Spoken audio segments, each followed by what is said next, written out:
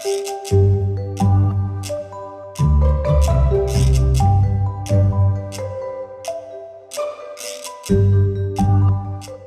always been an advocate for what is right and what is just. And as female, I thought um, it was the best thing for me to advocate for people of my gender. I also grew up in a country where um, females um, were relegated to the background, and I was fortunate to have parents who um, believed in me, sent me to a girls only school.